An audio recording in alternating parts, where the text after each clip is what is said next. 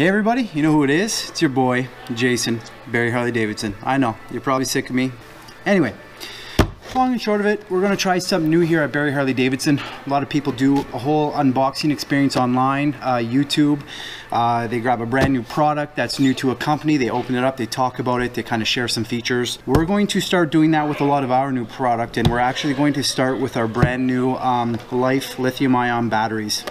They're not so new. They've been out for in and around a year now. Um, but that being said, a lot of people have had a lot of questions about the weight differences from AGM to lithium. I just want to scrape the surface on uh, a few features. Very light, uh, very small. This guy comes in in and around 3.34 pounds. The battery itself, there is a holster for it. Um, that being said, I'm going to get right to it and open it up and get to work. So in the box, like I said, you're going to get a battery you're going to be getting um, a set of instructions because everybody needs to know how to install a battery.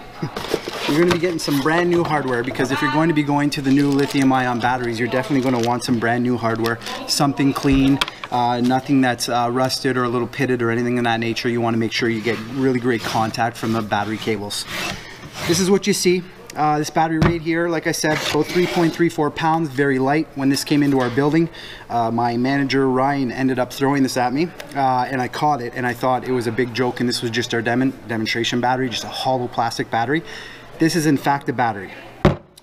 You'll see in the box, uh, you get a cradle. Basically what this is, this is the touring battery. And the reason that this comes with a cradle is because the uh, box where your AGM battery goes underneath your seat of your touring bike is very big and spacious so we need to fill that and you really need it to be safe and secure um, so that the battery's not moving around. Uh, traditional Harley orange and black colors. Uh, what you're going to see is top mounting point area and you're to see side mount. Uh, this is really handy if you have a lot of accessories on your bike and you need to run a whole bunch of extra wiring under the seat so that uh, you can um, use your space accordingly and not really interfere with the way the mounting is. More often than not, people install their batteries and it's a real bugger to be able to take it out and do any work on the battery. So they've given you the option to mount from the top, which makes life a lot easier. You'll notice right on the top of the battery, uh, there is a little test port. Uh, there are three indications uh, there's low, medium, and full. Uh, and basically what that is, is at any point in time you want to lift up your seat and see where your battery's at. Just press that little test button and it'll light up.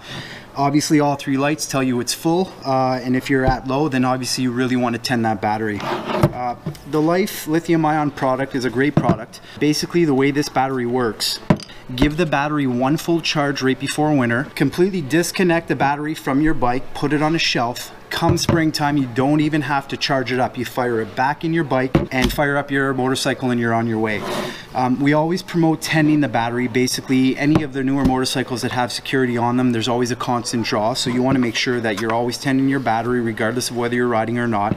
But basically, if you just want to, you know, if you're in an area, you're storing your bike in an area where you can't physically plug in a tender for the few months of winter, then unplug the battery, put it on your shelf, give it a full charge, and then come spring, put it in, fire it back up, and you're good to go.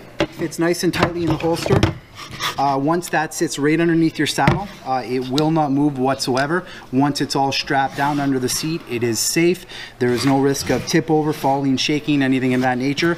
And the cool thing about this cradle is there's a lot of that extra space around the battery as I discussed earlier about uh, your accessories. A lot of people put lighting kits on their motorcycles and we need to tuck a lot more wiring up underneath the seat. That allows you to do so that's pretty much on this battery right here. I'm going to discuss a few other things in regards to cold cranking amperage, uh, power, all that kind of stuff, but I'm actually going to bring back in the standard AGM battery that you're used to. This is the guy right here, standard battery what you're used to. You'll see outside of the box, the cradle, major difference in size. Uh, these guys are coming off with maximum amount of uh, cold cranking amperage. These guys are registered at 405 cold cranking amps. Harley sets their batteries up where they're coming off the shelf already with a minimum of 50 to 100 more cold cranking amps than the battery is actually rated for. This guy right here, uh, basically right from the shelf, uh, you're looking at about 480 cold cranking amps.